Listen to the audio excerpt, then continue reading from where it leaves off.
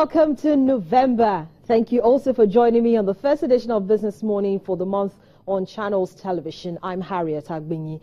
Let's take a look at, of course, uh, the stories that we're welcoming you into the new month with. Today, Buhari's cabinet clocks one year in office. It's exactly uh, this time last year that the president uh, uh, put together his cabinet, talking about the various ministers. And of course, they immediately set to work trying to fix those very critical ministries that they had. Also, this month, We've got our eyes on the $1 billion Eurobond flotation by the federal government. The Minister of uh, Finance and, of course, the Debt Management Office have had various roadshows, and, of course, they've talked about the bookkeepers for this particular uh, flotation. We've got that on our plate. And also, the pledged estimated 350 billion naira fiscal spending that the Minister of Finance talked about uh, just last week already about 700 and uh, about 750 billion naira thereabout has been of course disbursed for capital expenditure as well as over 1 trillion naira for recurrent and this month about 350 billion is also expected to hit the system. The debt management office of course will hold its monthly auction uh, sometime next week. Of course, we'll get those numbers for you. And then the markets are awaiting the third quarter GDP, inflation numbers, as well as the final MPC. October PMI has already come in. Taking a look at the one from FBN Quest, and of course, uh, much later, the Central Bank of Nigeria will also be releasing the PMI for a very critical sector, talking about the manufacturing sector. So, according to the PMI released by FBN Quest just this morning, there's a pickup in October headline to 52.9 from 47.9. According to the research unit, they say there was no significant upswings in the share of respondents reporting a higher improved performance across the five sub indices. Of course, uh, there were four of those indices in positive territory. The output indices, um, the output sub index, I beg your pardon, uh, recorded a pickup from 47.5 to 53. The employment sub-index rose considerably from 44 to 49. The new order sub-index grew to 50 grew from 50 to 53, but there was um, there was a, a, significant increase in the stocks of purchases as well as suppliers, delivery times, sub indices as recorded. Hot on the plate, militancy. We're talking about, uh, of course, today the president will be meeting with Niger Delta stakeholders, including governors, ministers, traditional rulers, and representatives of militant groups, hot on the plate militancy in the region, which has led to sharp decline in Nigeria's oil revenue. One of the seven big wins launched by President Muhammadu Buhari last week was on Niger Delta and security. And of course, the Minister of State for Petroleum Resources, Dr. Ibe Kachukwu, actually then announced that the president would have this meeting that is expected to hold today in the nation's capital, Abuja. Now, in the first eight months of the year, supply disruptions significantly affected the country's oil exports as four of the nation's five largest crude export streams were totally, totally suspended just recently. For Forcados terminal came back on stream. And so there's been a little bit of pressure in terms of uh, number of cargoes ready for export. But that, of course, is being looked at. According to data from the Nigerian National Petroleum Corporation, Nigeria has lost over $7 billion. That's around 2 trillion naira to militancy and pipeline vandalism since the beginning of the year. And so this meeting hopefully will come up with solutions with how best things can be addressed in that very critical region of Nigeria talking about achieving the seven big wins in the short to medium term priorities for Nigeria's oil and gas industry and having this very critical meeting with very key stakeholders of the Niger Delta region is the first step from the executive's office. Now, thinking outside the box and looking for quick wins in the recession is high on most agendas. The importance of vocational training at this time of economic constraint is a focus of the Nigeria German Business Community Forum and the German consulates as well as a delegation of German industry and commerce in Nigeria. So much has been talked about with in this regard of talk, talking about industrialization and how to improve it, looking at those key players that can help contribute to the key sectors of the economy, particularly manufacturing. So this particular forum will be talking about that. We've got our eye for that um, of course, and happening right about now is a policy dialogue on CBN's forex policy hosted by the Nigerian Economic Summit Group in partnership with the British High Commission under its Prosperity Fund Policy Development Facility Phase 2. And participants include representatives from the Ministry of Trade, Ministry of Finance, Bank of Industry, SMEDAN, Nigerian Customs, and of course the private sector groups. Now, they will focus on CBN's recent forex policy, reviewing short and long-term effects on businesses and consumers, as well as the overall impact of the policy across the different sectors. So those are the stories we've got on tap for you, and we're keeping our eye on them as they develop, particularly the stories with regards the president's meeting with the Niger Delta stakeholders. That's happening today in the nation's capital. And of course, uh, also happening now, the policy dialogue on CBN's forex policy by the NESG and the UK's DFID, as well as the German, Nigeria German Business Community Forum on the importance of vocational training in a recession. Let's take a look at the markets from yesterday.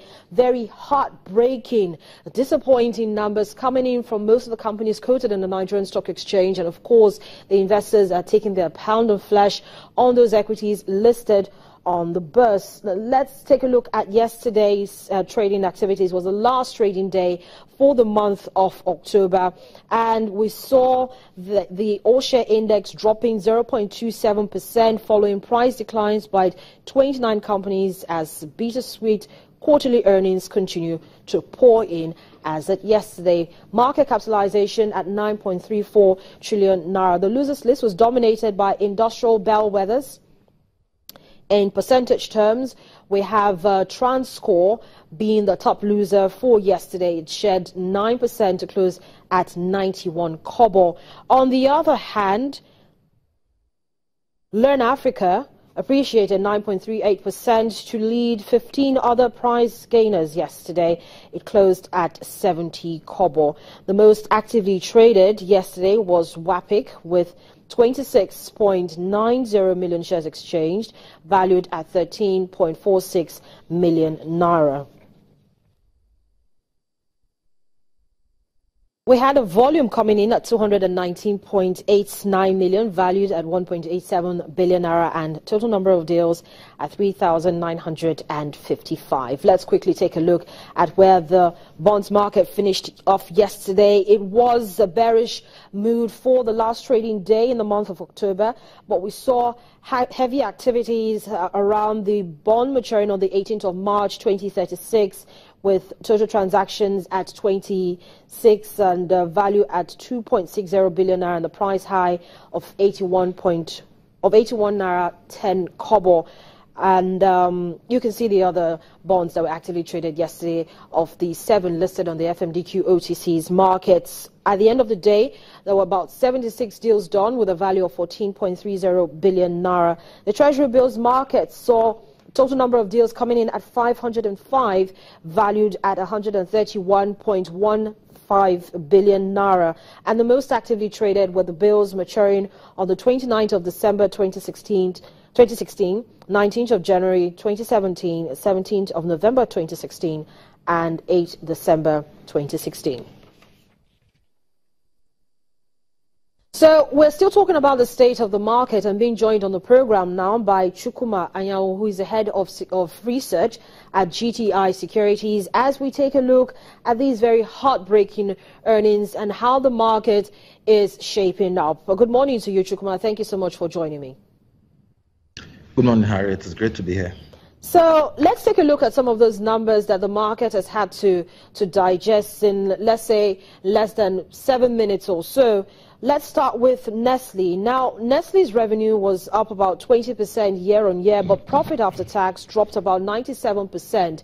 This is one of the most uh, capitalized stock on listed on the Nigerian Stock Exchange. Talk to us about, um, give us your opinion on how you know these results look for you as an investment analyst, and of course, how you think it will be shaping investors' thoughts towards this particular equity. Yeah, Harriet, one of the major things I, I particularly look out for um, in a company that is as mature as Nestle is their capacity to grow earnings, their, their gross earnings, the top line. And I was particularly impressed with the um, level of growth recorded by Nestle in, in, the third quarter. It clearly shows that it's a company with um, very viable product offerings and the market penetration and acceptance for its product is still there.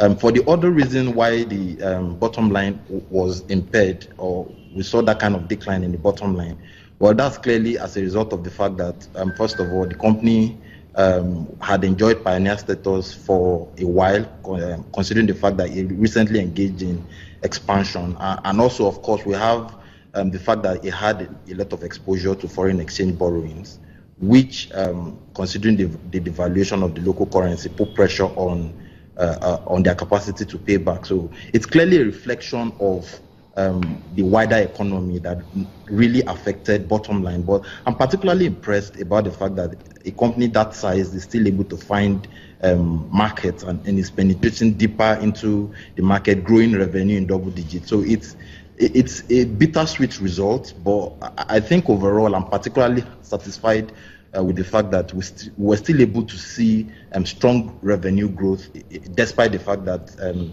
impairments were, were noticed in, in the bottom line. But overall, what that clearly shows you is if you're able to grow your revenue um, with economic um, conditions getting better, it, it will clearly reflect in the company's ability to translate more of its revenue growth to bottom line profitability. And of course, we all know that um, Nestle has no problem with um, operational efficiency. So yeah, it's a company that, uh, despite that um, level of reduction in profit, it's still um, viable for me for the simple fact that it was able to grow revenue in double digits. Hmm. Well, Chukwuma, bittersweet for Oando, however, uh, taking a look at the results as announced yesterday to the Nigerian Stock Exchange, turnover increased by 26% uh, from 262 billion recorded uh, for the same period in 2015 to 330, but the company recorded a loss. And, and even though it seems as if investors have taken it in their stride, how do you think in, in the coming days, particularly listening to what the, um, the group chief executive of Oando PLC, Mr. Wale Tinubu, said, they're expecting still better, better and improved outing coming into the fourth quarter. But for you, and taking a look at the stock, do you think at this time this particular equity is um, is well priced? And judging, of course, uh, by news and developments around Oando in the last couple of days, in the last couple of months, what are your thoughts? You know, as far as um, being bet, uh, priced is concerned, as far as Oando is concerned, everybody is clear on the fact that Oando has huge prospects for upside um, returns in terms of pricing. So yeah, there is still a lot more to be factored into the pricing from where it is currently.